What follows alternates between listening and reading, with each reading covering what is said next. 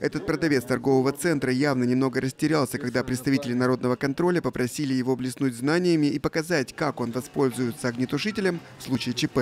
Вот здесь произошло возгорание. Твои действия, огнетушитель в руках.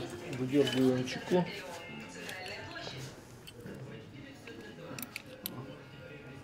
Поставь обратно. И нажимай. Переворачиваем.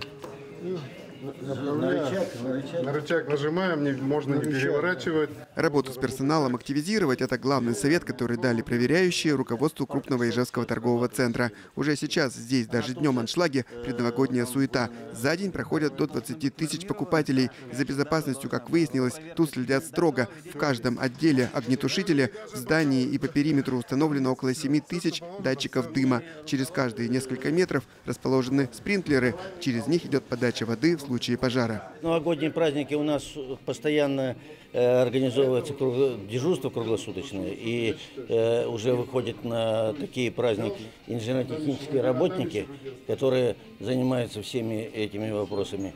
Я думаю, мы пройдем новогодние праздники и все остальные праздники без особых проблем. После неоднократных проверок прокуратуры и МЧС в ижевских торговых центрах сейчас почти не к чему придраться. Это и отметили представители народного контроля. Сегодняшний рейд по двум крупным торговым точкам не выявил грубых нарушений. Но чтобы и в дальнейшем с этим все было окей, большая надежда на активность и сознательность самих покупателей. Их просят сообщать о любых увиденных в ходе шопинга недочетах. То есть ты увидел, что тут неисправно или закрыт, например, тот же аварийный выход, или не светятся таблички. Но у нас сегодня ничего только нет. У нас есть и прямая линия МЧС, у нас есть прямая линия МВД. Пожалуйста, набрал номер телефона, есть 112 линия, там всегда сидит дежурный. Позвонил, сказал, вот я в таком торговом центре, вот здесь не горит, на таком-то выходе табличка, например.